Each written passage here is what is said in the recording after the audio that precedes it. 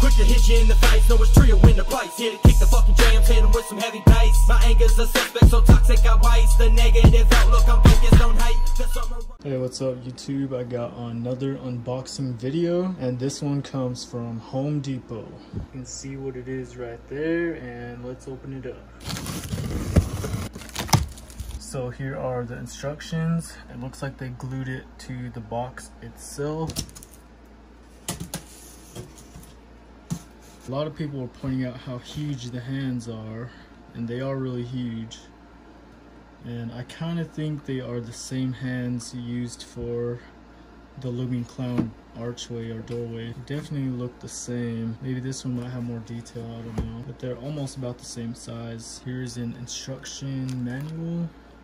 So I guess you can look on the manual or look on the box if you lose the manual. And here is the head. Everybody likes to look at the head out of the box. Yeah, there is the head, a very big head. I think it is the same size as the Looming Clown's head as well.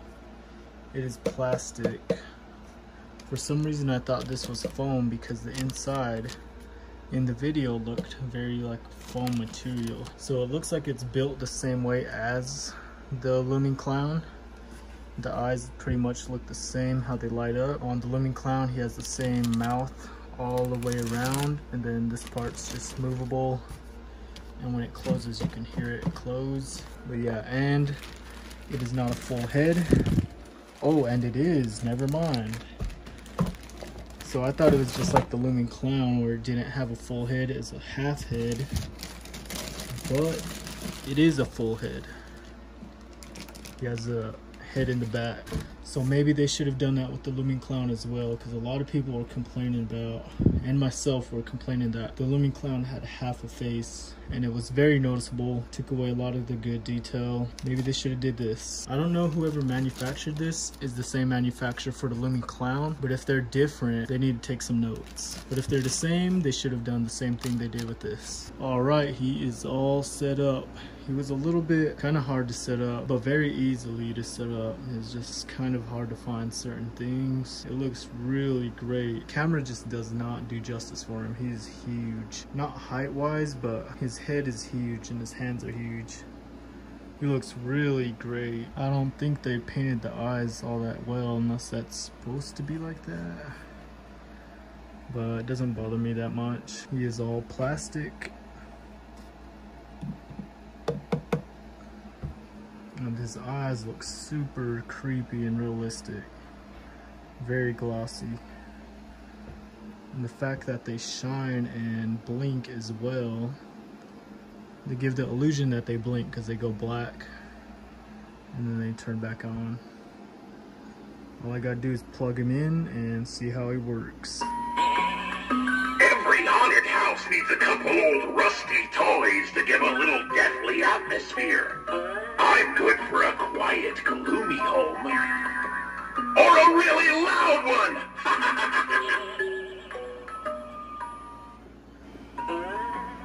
I like my little tune, don't you?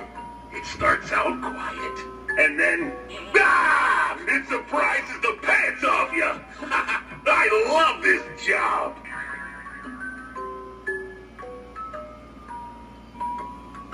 Let's put a smile on that face of yours.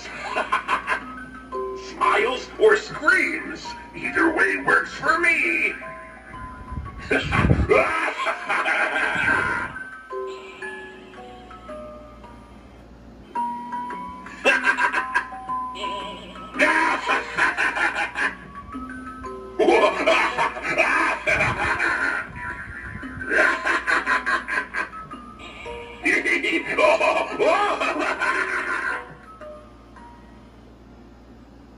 I remember when you were little. There were so many things that you were so afraid of. what a little crybaby. I'll find you in your dreams and conjure up some new things to be afraid of. I like my little tune, don't you? It starts out quiet, and then, ah, it surprises the pants off you. I love this job. Okay, so uh, I was watching him for a little while and I noticed that his eyes aren't blinking like the ones that you see in the videos. His eyes just pretty much just stay lit all the time. I was just hoping to see how the eyes blink in person, but I watched it for a while and there's no blinking in the eyes.